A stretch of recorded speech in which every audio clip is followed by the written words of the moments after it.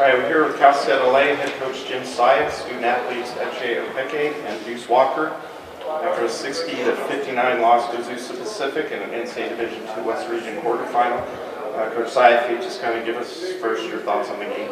Yeah, you know, first, uh, you know, all glory goes to God Jesus. We're really just grateful to be here, and uh, and uh, it's bigger than basketball. So whether win or lose, we're always going to glorify God in this program.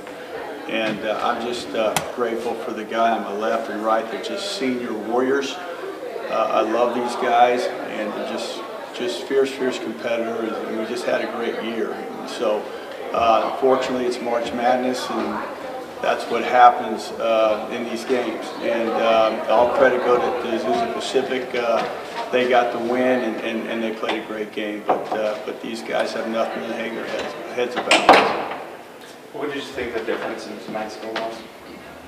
Well, we knew they're going to come and gimmick the game and try to steal it from us with the zone, and we struggled against it. We've been struggling to get zones uh, all year a little bit. That's kind of been our, our nemesis, and, and uh, we, uh, we need to attack. It takes a while for us to get going, so we just tried to speed the game up in the second half. But they tried to make us, uh, they wanted to slow us down because if it is a game and, and we're going, uh, they, they couldn't play against us that way. And so um, they stole the game in the first half, and we got a little bit too far down, but had a chance to win and, and didn't get it done. Yeah, Jay, what kind of got things turned around for you guys, do you think, in the second half? Um, I just think it was just, I mean, our hunger. Um, we knew we were better than our first half, and I feel like we just wanted to come out and show that. Um, we just kind of turned up the pressure on them, and then that allowed us to just play play a lot faster because we're a fast-paced team. So getting turnovers and just moving the ball and just just finding open man, that's how we play. So I feel like in the second half we were playing a lot more like that than in the first. Did you guys kind of feel the energy in the gym when you caught up in the second half? Yeah, for sure. Stretch? It's a great feeling for sure, even though we lost. Was... And Duece, you've been here through some lean times. How, how meaningful was this season to you?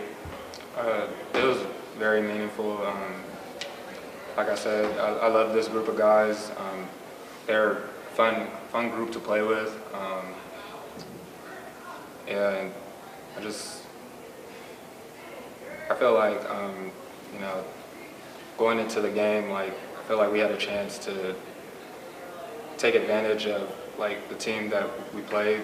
We knew they were a slower paced team and uh, but they they ended up changing the game a little bit for us.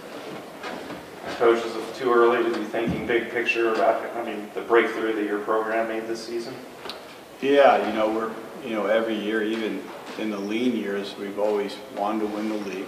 And, you know, we want to get into the dance to, to try to win a national title. That's always the goal, always will be, as long as I'm coaching. So, um, and these guys just prove that if you believe in something and you go for it, that uh, great things can happen. And, and we're going to miss these two, but we're hoping that uh, the guys in the locker room can, can enhanced the kind of heart that these two individuals had to, to lead us. They're, they're amazing, amazing people. They're amazing seniors, and uh, they have a lot to be proud about in, in their college career. Uh, Jay, what, what, was your one year with the program like? You obviously made a huge impact here.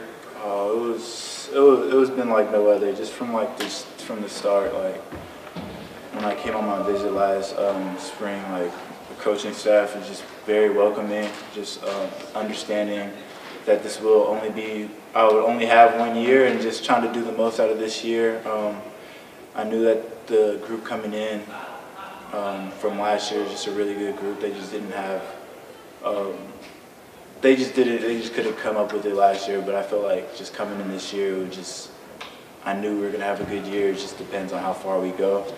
Um, it's just, like I literally have not had a season like this with just like the coaching staff behind me and my teammates behind me so much where it's like I just feel like I'm playing pickup basketball in the sense of like there's no pressure. It's just I just allowed to be myself, play myself, play like how I feel like I should play. So that's it's just been wonderful, and I feel like I've grown a lot as a person and a player being here.